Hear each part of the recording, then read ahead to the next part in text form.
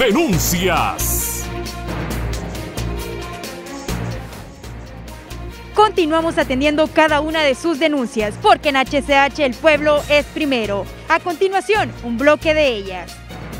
Un grupo de vecinos de la calle principal de la colonia José Simón Ascona del bloque 3 denuncian una filtración de agua que afecta sus viviendas y locales de trabajo. Juan Bustillo hace el llamado a las autoridades correspondientes.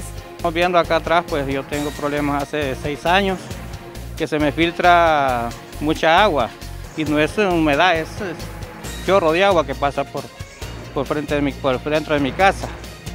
Y he buscado a autoridades como Salud Pública, como a eh, el Centro de Salud del Manchén, eh, acá también al punto de a la Junta de Agua aquí en la colonia y no me han solucionado absolutamente nada.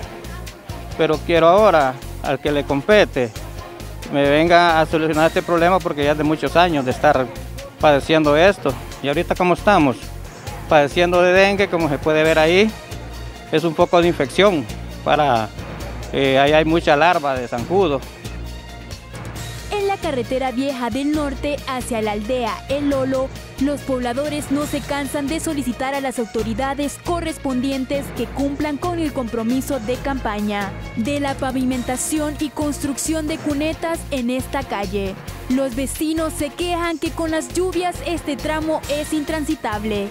Anunciando esta calle porque al parecer eh, parece que el mes pasado vinieron a raspar aquí y se, ha dificultado más sobre la calle que, mire, han raspado y cuando al parecer cuando llueve, como que las alcantarillas o las cunetas se han como afectado, o sea, se inunda, todo se llena de arena y cuando llueve nosotros tenemos problemas que en las casas se los mete el agua. desde arriba hay alcantarillas y hay las cunetas como que están, las han raspado y eso se ha inundado de arena. Entonces al, cuando al final aquí en las alcantarillas nosotros los inundamos por eso. Si desea que lleguemos a su barrio o a su colonia, comuníquese el 3143-2502 y gustosamente estaremos atendiéndole. En cámaras mi compañero Manuel Rojas con ayuda en edición de Gustavo Cortés. Para HCH Denuncias, reportó Jocelyn Hernández. Denuncias.